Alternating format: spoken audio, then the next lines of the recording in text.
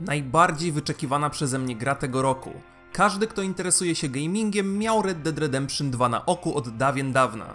Oczekiwanie na premierę było długie i męczące, ale nareszcie jest. Czy cały ten hype, całe to podniecenie miało jakiś sens? Czy jest to nowy mesjasz gier? Siema, ja jestem Nick, a tak właściwie to Nick the Player i dzisiaj odpowiem na właśnie te pytania. W oryginalne Red Dead Redemption nigdy nie grałem. Nie grałem również w zapomniany już dzisiaj Red Dead Revolver. Jest to więc dla mnie zupełnie nowa marka, a moje oczekiwania były wysokie dzięki temu znaczkowi na pudełku. Rockstar Games, najbardziej znane z serii GTA, praktycznie zawsze tworzy niesamowite produkcje. Czy tym razem jest tak samo? Przekonajmy się. Ameryka, rok 1899.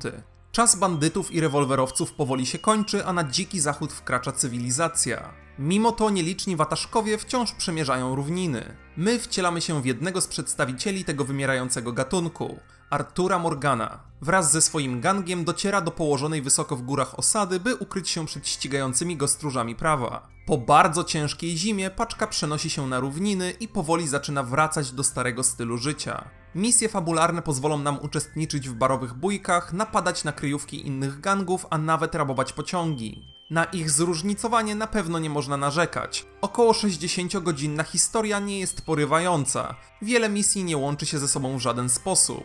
To tak naprawdę garść zadań, które mogłyby być ułożone w dowolnej kolejności i nie zrobiłoby to żadnej różnicy. Siłą Red Dead Redemption 2 są jednak postacie. Dzięki nim nie przeszkadzał mi brak angażującej intrygi. Prawie każdy z ponad 20 bohaterów głównych ma wyrazistą osobowość i swój własny charakter. Jest tu na przykład urodzony lider Dutch, wiecznie pijany wujek, szalona Sadie czy psychopatyczny Majka. Powraca też protagonista jedynki, John Marston, choć występuje tu on jako postać drugoplanowa. Nawet Arthur jest sympatyczną postacią, przynajmniej jak na bandytę. Interakcje, w jakie wchodzą ze sobą postacie w obozowisku są fascynujące. Jest tu ich niezwykle dużo, każdego dnia każdy robi coś innego. Członkowie gangu rozmawiają, grają w różnego rodzaju gry, troszczą się o swoje konie, a w nocy imprezują. Wydają się być niemalże prawdziwymi ludźmi, może dlatego tak łatwo ich polubić, mimo to, że nie są zbyt dobrymi osobami.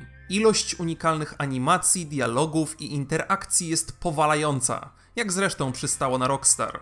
Gdy przejmiemy kontrolę nad bohaterem, otwiera się przed nami potężny świat. Możemy robić tak dużo rzeczy, że nawet nie wiem od opisu czego zacząć. Red Dead Redemption 2 nie bez powodu zajmuje na dysku mojego PlayStation 4 ponad 100 GB. Będziemy brali udział w aktywnościach typowych dla kowboja zawadiaki. Strzelaniny i pojedynki w samopołudnie to dla nas codzienność. Musimy jednak uważać do kogo strzelamy i gdzie to robimy. Jeśli zaczniemy pluć ołowiem do przypadkowych ludzi w mieście, to możemy być pewni, że wysłani za nami zostaną łowcy głów. Strzela się przyjemnie, ale dopiero po zmianie sterowania w opcjach. Domyślne ustawienia są okropne i sprawiają, że strzelaniny zamieniają się w katorgę. Polecam te ustawienia, po ich zastosowaniu wymiany ognia stały się dla mnie dużo przyjemniejsze. Spluwy mają niezłego kopa i potrafią nawet urwać wrogom części ciała. Artur może chować się też za osłonami, dobrze, że praktycznie wszystko może za nie posłużyć, bo stojąc na widoku długo nie pożyjemy. Powraca też znana z pierwowzoru mechanika Deadeye. Po naciśnięciu prawego drążka możemy spowolnić czas i zaznaczyć wrogów, do których chcemy strzelić. W grze czas umilić sobie możemy też łowiąc ryby, polując na różnego rodzaju zwierzęta, chodząc do barów, grając w minigierki albo wypełniając liczne zadania poboczne. Na większość z nich po prostu natkniemy się podróżując po świecie. Niektóre z nich to krótkie przerywniki zabawy, musimy na przykład pomóc komuś dotrzeć do miasta albo uratować kogoś przed bandytami. Są też oczywiście dłuższe misje poboczne z ciekawymi mini-historyjkami do opowiedzenia. Kilka z tych zadań spodobało mi się bardziej nawet niż misje fabularne. Najważniejsze jest jednak to, że żaden z tych sidequestów się nie powtarza. Jest to więc zupełnie inna sytuacja niż w grach Ubisoftu, w których mapa zasypana jest opcjonalnymi misjami zrobionymi na zasadzie kopiuj w klej. Pogadajmy jeszcze o detalach. O tak, detale, detale to drugie imię Red Dead Redemption 2. Dopracowanie w każdym szczególe po prostu poraża. Nie wyobrażam sobie, jak można w ogóle stworzyć grę, która jest tak szczegółowa. Mógłbym zacząć teraz wymieniać szalone smaczki, które tu znajdziemy, ale wtedy recenzja miałaby pewnie ze 40 minut, więc pokażę wam tylko te najlepsze. Artur podnosząc przedmiot nie wyciąga po prostu w jego kierunku ręki. Każdy jeden przedmiot łapie w dłoń i wsadza go do swojej torby. Nawet gdy przedmiot spada, to Artur złapie go w locie. Animacje skurowania zwierząt są niesamowite. To nie jest Far Cry, którym raz nacinamy zwierzaka i magicznie wyciągamy z niego mięso. Tutaj każde z ponad 100 zwierząt ma swoją własną animację skurowania. Widzimy jak Artur odcina ostrożnie skórę i zdejmuje ją z ciała. Dla samych animacji warto pobawić się w polowanie. Jeśli po upolowaniu zwierzaka z jakiegoś powodu nie zabierzemy go ze sobą, to ulegnie on rozkładowi, jeśli więc wrócimy do niego po kilku dniach, to zastaniemy zgniłego trupa, nie nadającego się do jedzenia ani obróbki. Takie pozostawione truchło zwabi też ptaki, które zabiorą się za jego dziobanie. To szalone, jak wiele tego typu detali i bajerów znajdziemy w grze. Dzięki temu czuć, że świat dookoła nas żyje. Jest tak organiczny, tak realistyczny, postacie zachowują się tak naturalnie, że można zapomnieć na chwilę, że jest to tylko gra. Momentami czułem się, jakbym wkroczył do serialowego Westworld. Mogę bez wątpienia powiedzieć, że Red Dead Redemption 2 to najbardziej imponująca gra wszechczasów. Prawdziwe magnum opus Rockstar Games. Gra stoi o dwie półki wyżej od innych produkcji na rynku pod względem dopracowania. To interaktywne dzieło sztuki, które prawdopodobnie nie zostanie przebite przez następnych parę lat. Celowo unikam jednak określenia najlepsza gra wszechczasów, bo Red Dead 2 ma jednak swoje wady i to całkiem spore.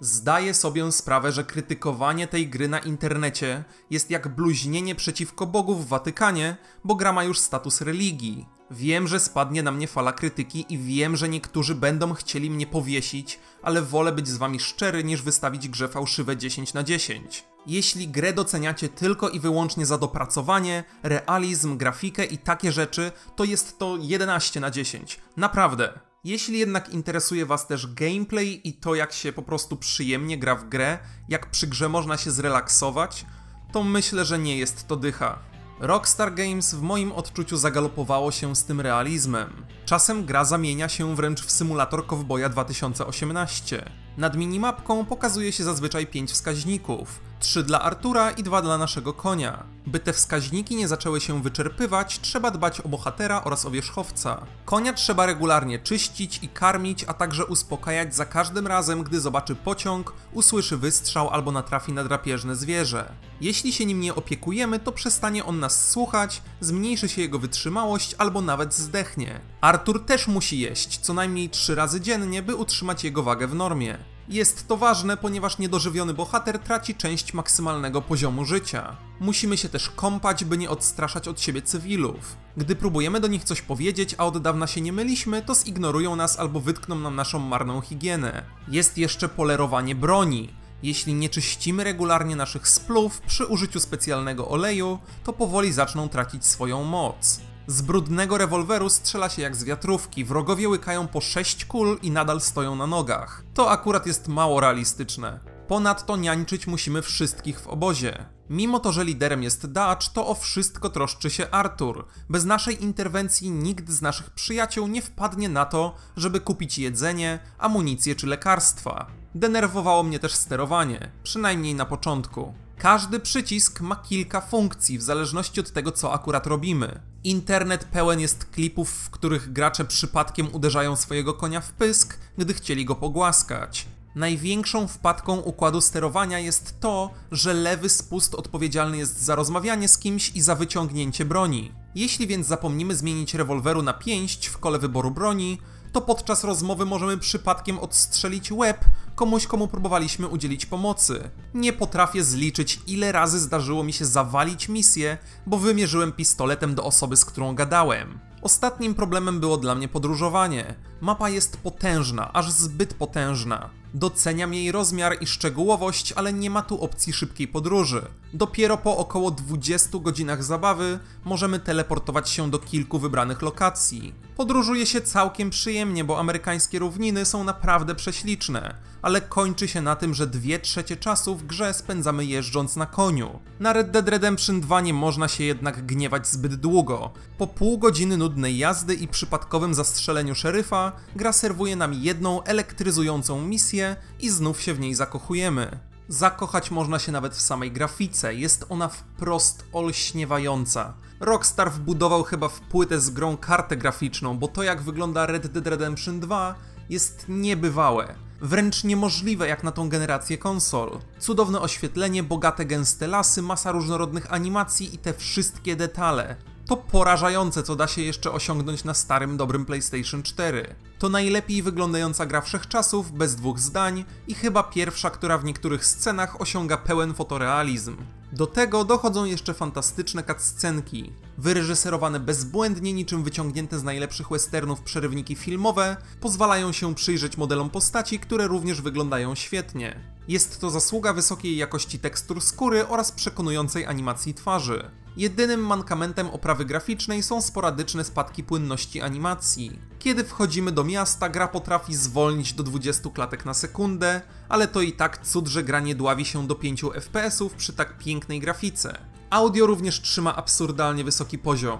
Do dubbingu zatrudniono chyba ze 200 aktorów, bo nigdy nie słyszałem tego samego głosu. Poza tym każdy dubbingowiec odwalił kawał dobrej roboty. Efekty dźwiękowe też są z najwyższej półki. Wystrzał z rewolweru brzmi jak należy, ale gdy wystrzelimy w górach, a potem wystrzelimy w lesie, to usłyszymy różnicę w rozchodzeniu się dźwięków w przestrzeni. Po raz kolejny, co za detale. Muzyka to po prostu poezja. Włącza się zawsze w odpowiednich momentach i buduje niepowtarzalną atmosferę dzikiego zachodu. Nie ma tu może chwytliwych kawałków, które nucić będziemy w drodze do pracy, ale nie o to przecież chodziło. Miało być klimatycznie i jest klimatycznie. Mimo wszystkich wad, które wymieniłem w recenzji, dalej uważam, że jest to tytuł niepowtarzalny. Red Dead Redemption 2 zapisze się złotymi zgłoskami w historii gier. Co do tego nie mam wątpliwości. Potężny, bogaty świat, masa zawartości, cudowna grafika i obsesyjne wręcz przywiązanie do szczegółów czynią z tej gry dzieło sztuki i sprawiają, że o tych wszystkich wadach można zapomnieć.